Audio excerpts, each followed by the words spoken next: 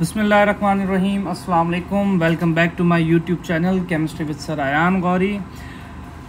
Coordination compound की last video में हमने कुछ कोऑर्डिनेशन कंपाउंड पे कोऑर्डिनेशन नंबर और ऑक्सीडेशन स्टेट का डिस्कशन किया था। आज की वीडियो में हम उन ही पाँच कंपाउंड्स को यूज़ करेंगे और उनके ऊपर नोमेन के रूल्स अप्लाई करेंगे। देखिए नोमेन के रूल्स जो हम डिस्कस करते हैं, उनके लिए मैं एक तरीके कार इख्तियार करता हूँ। हमें, हमारे टीचर्स ने सिखाया था। मैं आप लोगों को वो तरीक़ेकार बता रहा हूँ कि जब भी कभी आपके पास इस तरीके से ऑर्गेनिक कंपाउंड की नेमिंग की बात होती है सॉरी ऑर्गेनिक कंपाउंड कह रहा हूँ ट्रांजिशन कंपाउंड यानी कि कोऑर्डिनेशन कंपाउंड्स की नेमिंग की बात होती है तो आपने सबसे पहले इस बात को अपने जहन में रखना है कि the coordination compound can be classified into three types coordination compounds की टोटल तीन टाइप्स डिस्कस की जाती हैं। उन तीन टाइप्स में सबसे पहले आप ऐसे कह सकते हैं कि कैटाइनिक कंपाउंड्स आएँगे। इसी तरीके से हमारे पास न्यूट्रल कंपाउंड्स आएँगे और एक कैटेगरी हमारे पास बनती है कि एन आइनिक कंपाउंड्स का डिस्कशन होगा। न्यूट्रल कंपाउंड को किस तरीके से आइडेंटिफाई किया जाएगा कि न्यूट्रल कंपाउंड में जो कोऑर्डिनेशन स्फेयर है, यानी कि मेटल और लीगेंड की आपस में जो भी कोऑर्डिनेशन है, बस वही उस कंपाउंड का पार्ट होगी। ये न्यूट्रल लीगेंड है। कैटानिक लीगेंड किस तरीके से पहचाने जाते हैं कि मेटल और लीगेंड्स में जो कोऑर्डिनेशन है, उस कोऑर्डिनेशन के अलावा यहाँ पर कोई पॉजिटिव चार्ज मौजूद हो सकता है। लेट से वाई कैटाइनिक अब अक्सर अवकात हम ये ऑब्ज़र्व करते हैं कि ये कैटाइनिक लीग कैटाइनिक कंपाउंड में जो ओवरऑल पॉजिटिव चार्ज होता है, वो ओवरऑल चार्ज बैलेंस होता है by any anion present on the right hand side of the coordination sphere. Right hand side of the coordination sphere पे हमेशा कोई एन आइन मौजूद होता है जिसका अपना चार्ज नेगेटिव होता है। तो वो ये ओवरऑल पॉजिटिव चार्ज को बैलेंस करने के लिए इस्तेमाल किया जा सकता है। इसी तरीके से anionic ligand N ionic compound को हम किस तरीके से पढ़ सकते हैं? कि कोऑर्डिनेशन स्फेयर में मेटल और लीगेन का जो कोऑर्डिनेशन स्फेयर कोऑर्डिनेशन है, इसके अलावा ओवरऑल जो चार्ज होगा वो नेगेटिव एग्जिस्ट करेगा। ओवरऑल नेगेटिव चार्ज मौजूद होगा। और उसको बैलेंस करने के लिए हम कभी कभार ये भी देखते हैं कि ये जो कोऑर्डिनेशन स्फेयर है, इस कोऑर्डिनेशन स्फेयर की लेफ़्ट हैंड साइड पे कोई कैटाइन मौजूद होगा। तो कैटाइन का चार्ज ऑब्वियसली पॉजिटिव होता है तो ये कैटाइन इसलिए यहाँ पे मौजूद होता है ताकि ये ओवरऑल नेगेटिव चार्ज को बैलेंस कर सकें। तो ये तो हमारे पास कंडीशन हो गई कोऑर्डिनेशन कंपाउंड्स की। तीन कंडीशन हो गई कि coordination compound can be neutral it can be cationic और इट कैन बी एनाइनिक अच्छा इस बात को हम क्यों डिस्कस करते हैं? क्योंकि जब भी आप नेमिंग कर रहे होते हैं तो कैटाइनिक और न्यूट्रल कंपाउंड में जो मेटल नेम होता है, वो इंग्लिश नेम मेंशन किया जाता है। ठीक है, यहाँ पे अगर मैं कुछ इस तरीके से लिखूं कि for the highlighted ones English name for metal is used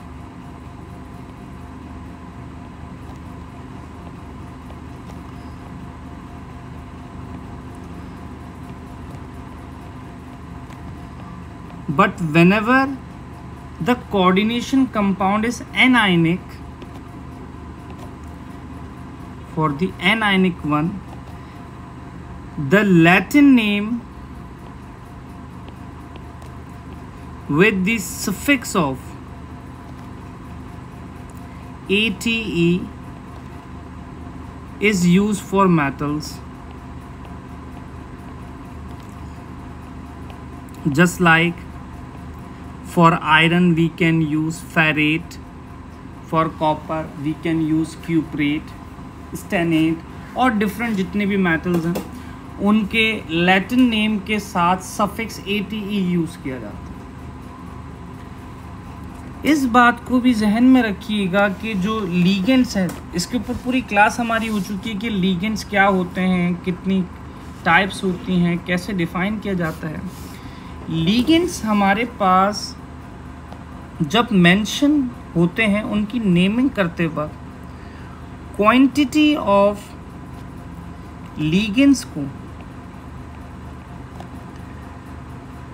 mention किया जाता है बाय यूजिंग प्रिफिक्स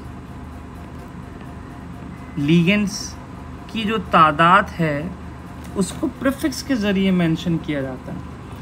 और अगर वो लीगेंट एक इनऑर्गेनिक लीगेंट है तो हम प्रिफिक्स यूज़ कर सकते हैं bi for two tri for three tetra for four similarly penta for five and hexa for six लेकिन अगर वो लीगेंट एक ऑर्गेनिक हो, ऑर्गेनिक लीगेंट हो, जिसमें यूजली इथाइलिन डायामाइन और इस तरीके से दूसरे लीगेंट्स आते हैं तो हम क्या पढ़ते हैं ऐसी सूरत में for the two ligands the prefix bis is use तीन के लिए ट्रेस चार के लिए टेट्राकाइस पाँच के लिए पेंटाकाइस और छः के लिए हेक्साकाइस इस यूज़ इन प्रिफिक्स की मदद से हम लीगेंट्स की तादाद को मेंशन करते हैं। अब देखें, हमारे पास जब भी एक कोऑर्डिनेशन कंपाउंड आता है, उसमें एक मेटल मौजूद है, जिसके साथ लीगेंट्स अटैच हैं। अब वो या तो कैटाइनिक हो सकता है, या फिर वो एनाइनिक हो सकता है, या फिर वो न्यूट्रल हो सकता है। आप इस तरीके से कंसीडर कर लें कि इस वक्त हम कैटानिक एनानिक सब हटा भी दें तो आप इस तरीके से पढ़ें कि इसकी left hand side of the coordination sphere position one है।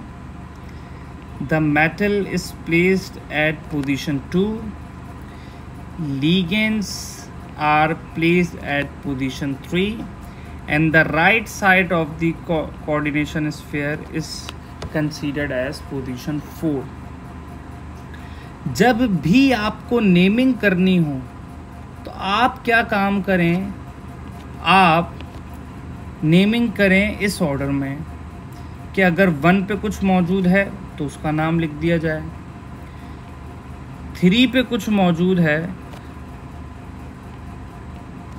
तो उसका नाम लिख दिया जाए, लेकिन वे विथ इट्स प्रिफिक्स दो हैं तो bi tri tetra, penta, hexa या फिर बेस ट्रेस टेट्राकाइज पेंटाकाइज और हेक्साकाइज फिर उसके बाद पोजीशन टू मेंशन की जाएगी और रोमन में इसका ऑक्सीडेशन स्टेट मेंशन होगी। मेटल की ऑक्सीडेशन स्टेट रोमन नंबर में मेंशन की जाएगी और अगर if there is something on the right hand side of the coordination sphere उसको मेंशन कर दिया जाएगा। यानी कि आप इस पोजीशन को वन मेटल को टू लीगेंड को थ्री और इस पोजीशन को फोर कहते हैं तो वन थ्री टू फोर का ऑर्डर फॉलो करेंगे। वन एज इट इज़ लिख दिया जाएगा थ्री पे जो भी होगा, वो इस एक्स को देखते हुए प्रिफिक्स की सूरत में लिखा जाएगा। पोजीशन टू पे जो भी मेटल होगा, उस उसको उसकी ऑक्सीडेशन स्टेट के साथ लिख दिया जाएगा और अगर पोजीशन फोर पे भी कुछ है तो उसको सबसे आखिर में लिख दिया जाएगा। इन बातों को फॉलो करते हुए अगर इन कंपाउंड्स को देखें, जिनका डिस्कशन हमने प्रीवियस लेक्चर में भी किया था तो लेट सपोज़ कि this is position one this is position two this is position three and this is position four position four vacant है, लेकिन position one occupied position one occupied होने का मतलब ये है कि this is an anionic compound ठीक है एनाइनिक है ना? Left hand side of the coordination sphere पे मौजूद है। अब इसका नाम लिखने का तरीक़ेकार क्या होगा कि पोजीशन वन पे मौजूद है पोटेशियम पोटेशियम को सिंपली लिख दिया जाएगा potassium without mentioning its quantity position three mention की जाएगी. पोजीशन थ्री पे जो साइनो ग्रुप है उसकी टोटल तादाद सिक्स है तो हमने लिख दिया हेक्सा साइनो अब चूँकि ये एक एनाइनिक स्पीशी है तो इसका Latin name with the suffix of A T E use किया जाएगा तो ये हो गया फेरेट और फिर इसका जो भी ऑक्सीडेशन स्टेट है, वो मेंशन कर दिया जाएगा स्क्वायर ब्रैकेट में इन रोमन नंबर अब ये बात आप लोगों को प्रीवियस क्लास में मैंने बताई थी प्रीवियस लेक्चर में. कि यहाँ पे अगर ऑक्सीडेशन स्टेट निकालनी है तो ओवरऑल चार्ज तो हो गया माइनस थ्री आयरन का चार्ज आपने फाइंड करना है और छः साइनों का हो गया माइनस सिक्स यानी कि आयरन का चार्ज हम जब फाइंड करते हैं तो हमें पता चलता है कि oxidation state of iron is plus three तो ये हमारे पास ऑक्सीडेशन स्टेट रोमन नंबर में मेंशन कर दी। इसी तरीके से दूसरी एग्जांपल देख लें, बिल्कुल राइट साइड पे जो इसके मौजूद है। तो यहाँ पे राइट हैंड साइड पे एक स्पीशी मौजूद है विच मीन्स कि ये एक कैटाइनिक कंपाउंड ठीक है? कैटाइनिक क्यों है? क्योंकि ये एक एनाइन है और एनाइन एक इसके पॉजिटिव चार्ज को बैलेंस करने के लिए आया है।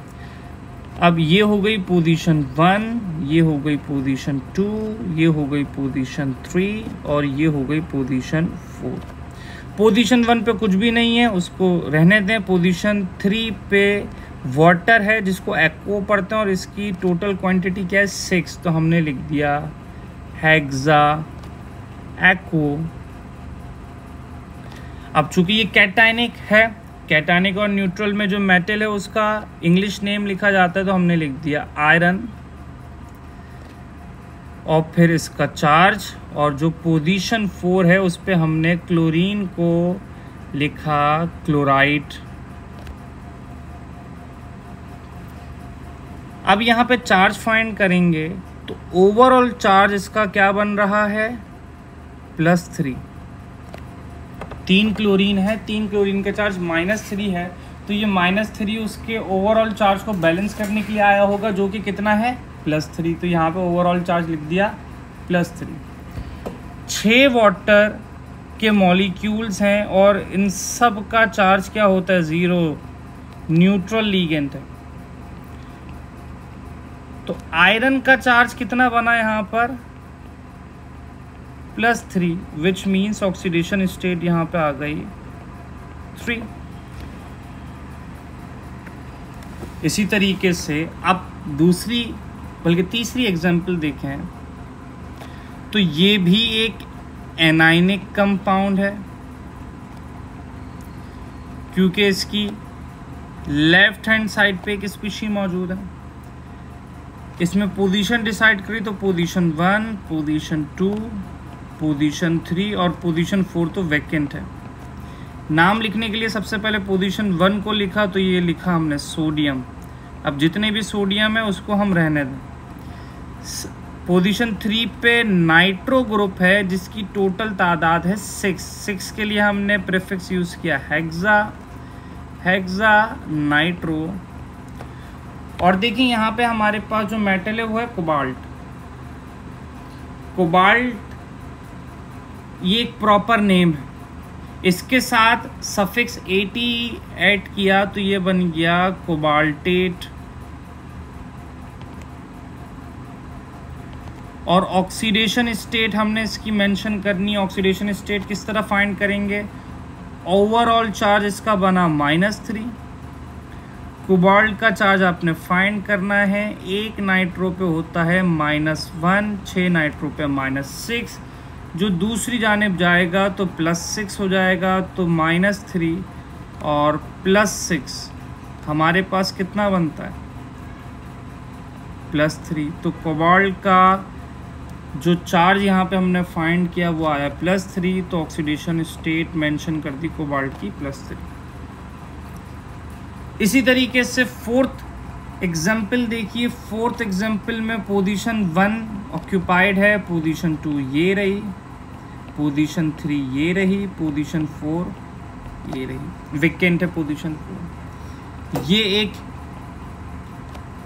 एनाइनिक कंपाउंड है। यानी कि इसमें भी मेटल के नाम के आखिर में ए टी ई मैंशन किया जाएगा। चलें, लिखते हैं इसका नाम।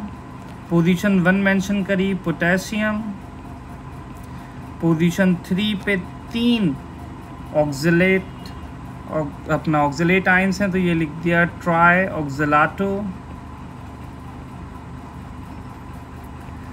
मेटलिस एलुमिनियम जिसको यहाँ पे हम मेंशन करते हैं एलुमिनेट और चार्ज यहाँ पे मेंशन करेंगे तो ऑक्सीडेशन स्टेट फाइंड करते हैं ओवरऑल चार्ज हो गया माइनस थ्री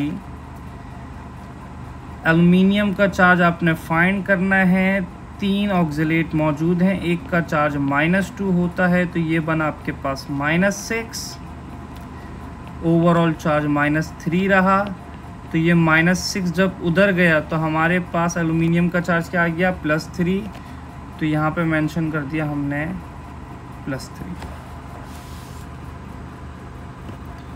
अब आखिरी एग्ज़ाम्पल देखें, आखिरी एग्ज़ाम्पल एक कैटाइनिक कंपाउंड की है।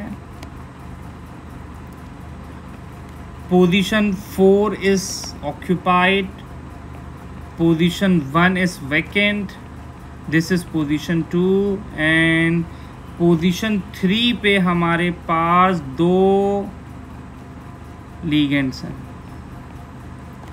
इथाइलिन डायामाइन भी है और क्लोरीन भी। इथाइलिन डायामाइन याद रखिएगा, एक ऑर्गेनिक लीगेंट है।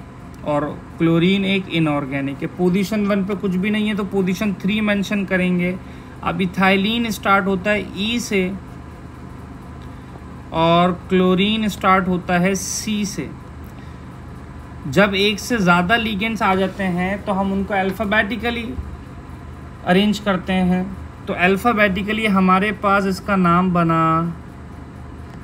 डाइक्लोरो ठीक है? क्लोरीन एक इनऑर्गेनिक लीगेंट था तो डाई यूज़ किया। इसी तरीके से इथाइलिन डायामाइन एक ऑर्गेनिक है तो इसके लिए हमने इस्तेमाल किया बेस इथाइलिन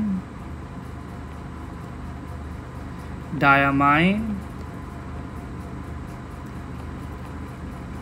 मेटल हमारे पास कोबाल्ट है। ये लिख दिया कोबाल्ट इसकी ऑक्सीडेशन स्टेट यहाँ पे लिखेंगे और पोजीशन फोर पे ब्रोमीन है, जिसको यहाँ पे लिख दिया ब्रोमाइड अब इसका चार्ज फाइंड करेंगे तो देखें ओवरऑल चार्ज तो आ गया आपके पास प्लस वन सही कोबाल्ट का चार्ज आपने फाइंड करना है इथाइलिन डायामाइन एक न्यूट्रल लीगेंट होता है, इसका चार्ज ज़ीरो दो क्लोरीन मौजूद हैं, एक क्लोरीन का चार्ज होता है माइनस वन अब ज़रा आप देखें तो ये हो गया cobalt minus two equals to plus one minus two उधर जाके क्या हो जाएगा? प्लस टू तो कोबाल्ट पे चार्ज क्या बना? प्लस थ्री तो यहाँ पे हमने ये कोबाल्ट का चार्ज लिख दिया.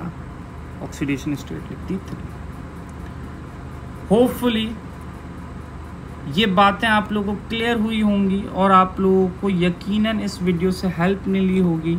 ऑक्सीडेशन स्टेट की जो हमारी सीरीज़ चल रही थी, उसमें हमने ये कुछ एग्जांपल्स डिस्कस करी। अगर आप लोग थोड़ा सा इंटरेस्ट शो करेंगे और अगर आप लोग मुझे कहेंगे तो इन फिर हम नोमिन ऑफ़ और कोऑर्डिनेशन कंपाउंड्स की मज़ीद वीडियोस बनाएँगे, जिनमें हम डिफरेंट कोऑर्डिनेशन कंपाउंड्स की नेमिंग करेंगे। फिल वक्त वीडियो को एंड करते हैं। अल्लाह हाफिज़।